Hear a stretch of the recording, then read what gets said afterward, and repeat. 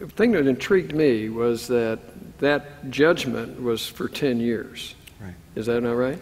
Right, that's what we thought. Yeah. So why was it only for 10 years? Can, tell us that. Well, the, the way that it works uh, normally through a civil judgment in the state of Oregon, uh, it's 10 years.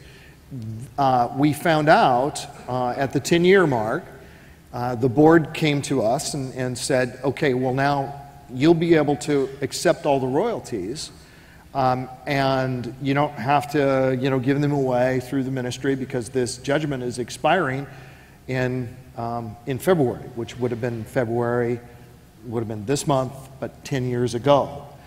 And says, so the, since that was coming up, um, you know, you can receive the money. Well, Nancy and I talked about it and prayed about it, and we said, well, if it ain't broke, don't fix it. You know, God's been taking care of us, and we've had the joy of seeing this money go all over the world. Uh, and so we made the decision we want that to continue to happen. Little did we know that two months later we would discover that they managed to get that judgment extended yet another 10 years.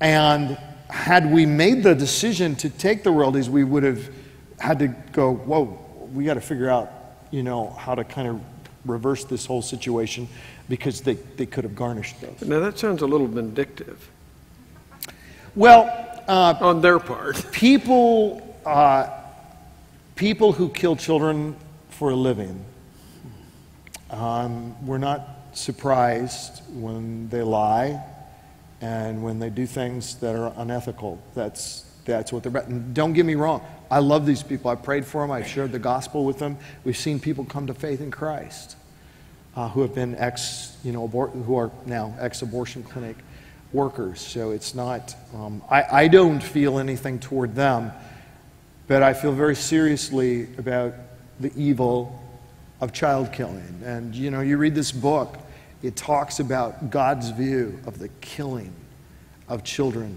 And it's, uh, it's a horrific thing. And it's something that we don't want to lose sight of.